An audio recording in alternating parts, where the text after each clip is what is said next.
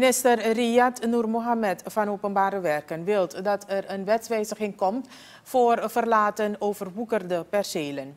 De wet stelt nu dat de staat dergelijke percelen schoon kan maken op rekening van de eigenaar.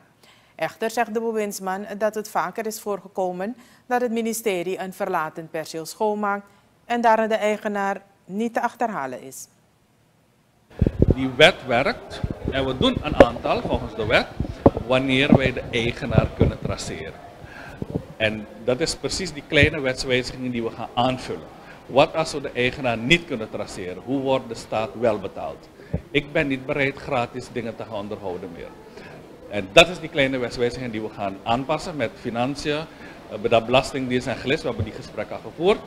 En dat ik, ik heb een paar weken nodig om dat goed te regelen. En dan gaan we over tot op een gegeven moment als er geen eigenaar is, dan moet het geld van ergens komen. Dus dat gaat komen van het perceel dat verlaten is. Dus ik hoop dat ik erin slaag om dat heel spoedig op te lossen. De bewindsman zegt dat er ook naar andere oplossingen worden gekeken. Er moet bijvoorbeeld een mogelijkheid zijn om percelen weer in de boezem van de staat te krijgen als eigenaren van zulke percelen helemaal niet te vinden zijn.